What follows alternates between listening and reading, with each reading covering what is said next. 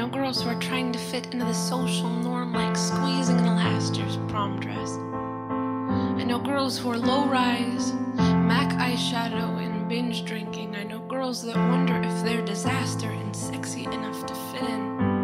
I know girls who are fleeing bombs from the mosques of their skin, playing Russian roulette with death. It's never easy to accept that our bodies are fallible and flawed.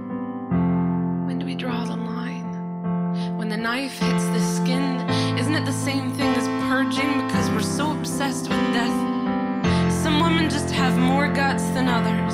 The funny thing is, women like us don't shoot.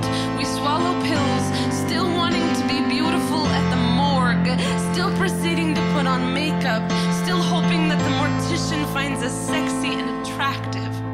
We might as well be buried with our shoes and handbags and scarves. Girls, with death every time we etch a new tally mark into our skin. I know how to split my wrists to reveal a battlefield too, but the time has come for us to reclaim our bodies. Our bodies deserve more than to be war torn and collateral, offering this as a pathetic means to say, I only know how to exist when I am wanted. Love your body the way your mother loved your baby feet. Brother, arm wrapping shoulders, and remember this is important. You are worth more than who you attract. You are worth more than a waistline.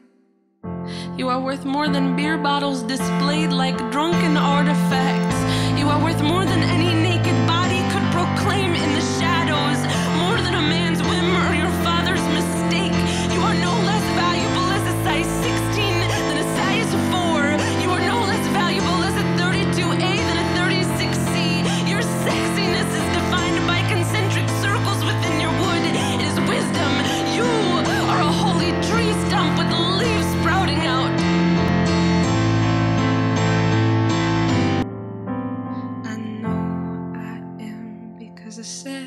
I am. I know I am because I said I am. I know I am because I said I am. My body is home. My body